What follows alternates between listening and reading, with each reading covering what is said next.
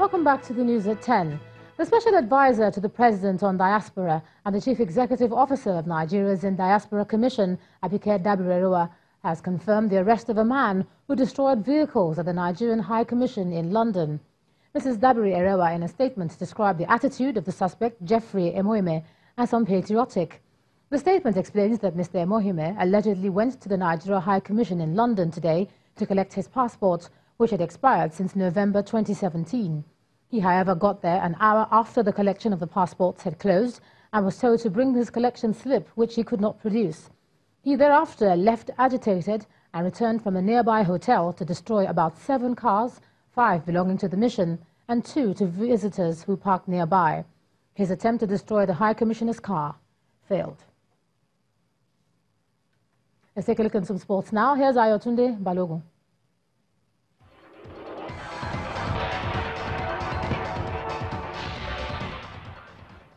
Many thanks. It was just four days to the start of the 18th edition of the Africa Cup of Nations in Egypt. Star Lager Beer is set to thrill fans with unforgettable moments. At a media parley event in Lagos, Star Lager Beer reeled out plans to engage consumers and create memorable experiences for football fans across the country during the AFCON tournament. Eagles will shine like a million stars in Egypt. No. Officials of Nigerian breweries, current and former Super Eagles players and fans are using this event to consolidate support for Team Nigeria at the AFCON. The campaign tagged Shine On Nigeria will expose the passion and loyalty of football fans. Star has been there for the Super Eagles for our national team. We've been a super fan of our national team. So this uh, particular AFCON edition is no exception. We're showing our support for our team. What sort of experience is Star Lager Beer giving the fans? what we're doing is that we're giving Nigerians the opportunity to watch the games in a fun-filled, security-tight environment. We're bringing Cairo to Egypt, to, to Nigeria. The NFF and ex-players also used the opportunity to advocate more support for the Super Eagles. We're very happy with Star because Star has been one of the pillars of uh, Super Eagles in recent times and of the NFF. So we're not surprised, but we don't take it for granted hope we are going to have enough of uh, enough fans that will go and support our boys. I saw the female World Cup yesterday in Netherlands against Cameroon.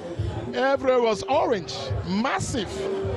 They do inspire the players, uh, and uh, I hope the Nigerian Football Federation can work with the fans so that we can have enough numbers of fans to go up there and support our boys because we all know the North African fans are very fanatic. It's I mean very important and um, it's going to motivate the, the, players. I mean, I think I mean the support that they are having and uh, the campaign and everything, events and all that. I mean, it's I mean kind of I mean motivations, and I mean I think he's going to motivate the players the more. If you Star Lager Beer is an official sponsor of the Nigeria Football Federation and has used this event to renew its commitment to support the Super Eagles for a fourth AFCON title in Egypt.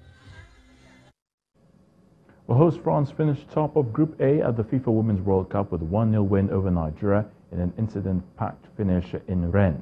France were awarded a penalty which was saved initially by Super Falcons goalkeeper Chiamaka Nnadozie, but Nnadozie was judged to have moved off her line early and Wendie Renard slotted the retaken spot kick. The Super Falcons still have a big chance of making the knockout stage as one of the best third-place teams. Norway also beat Korea Republic 2-1 to qualify for the round of 16. South Africa's Banyana Banyana have crashed out of the FIFA Women's World Cup after losing 4-0 to European giants Germany. Despite losing their first two games, the South Africans still had a mathematical chance of qualifying, but it was not to be as the Germans beat them to top Group B with nine points. Spain and China settled for a goalless draw, with both teams ending the group stage with four points each. Germany and Spain qualify automatically, while China will wait to be confirmed as one of the four best third place teams. A courageous Marin staved off a late comeback attempt by Cristian Garin to prevail 6-1-7-6 in the opening round of the Queen's Club Championships. Cilic was in cruise control for most of the match against the 23-year-old, defeated the Chilean in 1 hour and 17 minutes to reach the second round.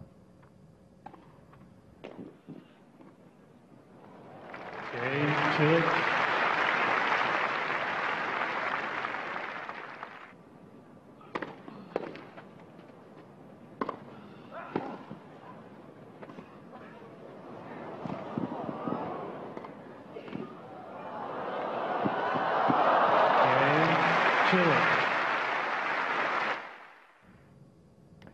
And that's Rapid Sports News. Back to you, Ijoba.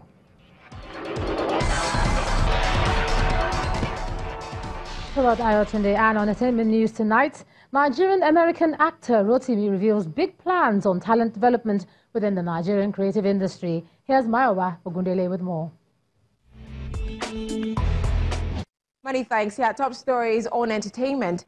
Nigerian-American actor, singer and model Rotimi, one of the biggest faces from the New York smashing drama series Power, has revealed that he has plans to come back to Nigeria and help develop the creative circle. The actor, who is signed to 50 Cent's G-Unit, in an interview with our London correspondent, said he'll soon be home to pull his weight and contribute to developing new talents in the industry. I want to open up a school for, for the arts out there eventually, you know, and um, everything paid for, you know, and, and, you just learn how to be creative in whatever way. It doesn't have to be music, it could be art, it could be painting, it could be anything. This is the school for the creatives. Currently on his African Giant tour, Ye star Burna Boy drops his latest music video for the song titled Anybody, a song which addresses respect, growth, reputation, and more importantly, recognizing who you are and taking charge. The track, which chronicles his journey to his current status in the industry, has its visuals imagined and created by Clarence Peters. That's it for me tonight. Thanks for watching. Let's head back for the rest of the news at 10. Thanks a lot, Mayowa. And the main news again. The Supreme Court today fixed July the 5th to deliver judgment on the Osun governorship election dispute between PDP's Ademola Adeleke and the incumbent governor, Gboyega Oyetola. And that's the news at 10 tonight. Thanks a lot for staying with us. I'm Ijoma Onyato. You have a good night.